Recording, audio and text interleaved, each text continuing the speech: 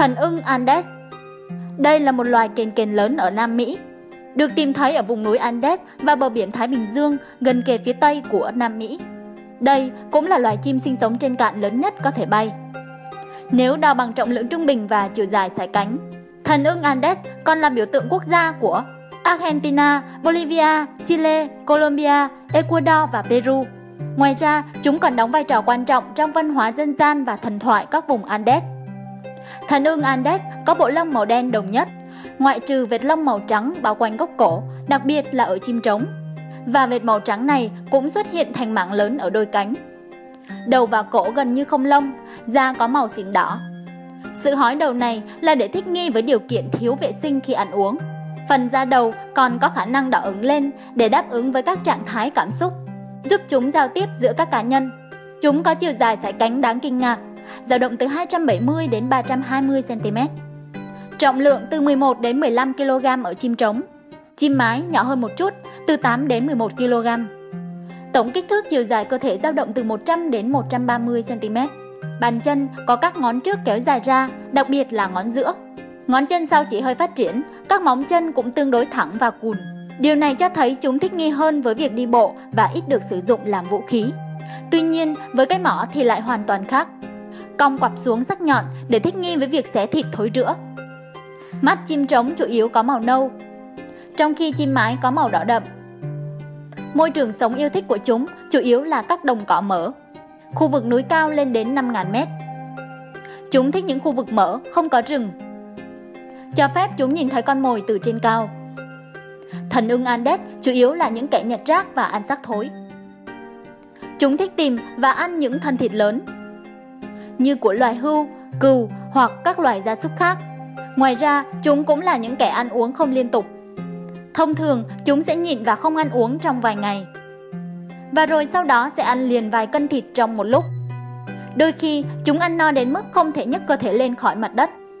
Khi bay, chúng thường chọn những địa điểm cao để xuất phát.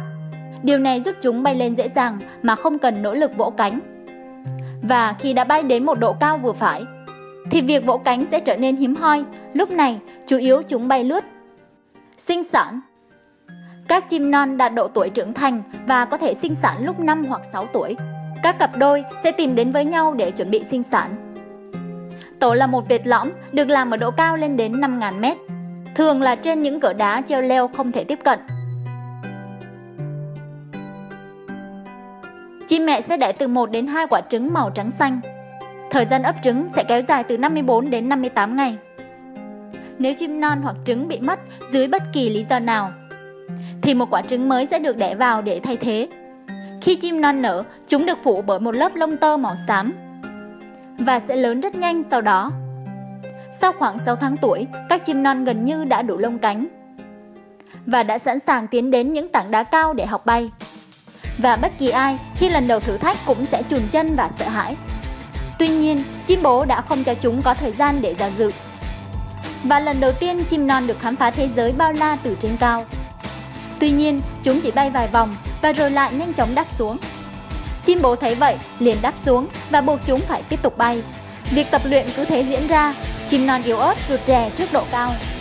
Chim bố mạnh mẽ đôn thúc các con tập luyện hết khả năng của mình. Việc tập luyện gian khổ cuối cùng cũng trôi qua. Giờ đây các chim non có thể tự do bay lượn trên bầu trời rộng lớn và bay đến bất kỳ đâu để tìm thức ăn cùng với bầy đàn của mình. Chúng sẽ tiếp tục kiếm ăn cùng bố mẹ mình trong suốt 2 năm đầu đời. Với kích thước lớn và có phần hơi chậm chạp.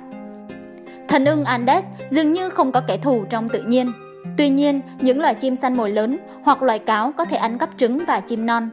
Nhưng hầu hết các trường hợp này đều rất hiếm vì tổ chúng làm rất khó để tiếp cận. Hiện nay, thần ưng Andes đang bị đe dọa do mất môi trường sống và bị ngộ độc thứ cấp từ phần thân thịt bị giết chết bởi các thợ săn. Các chương trình nuôi nhốt và nhân giống cũng đã được tạo ra ở một số quốc gia.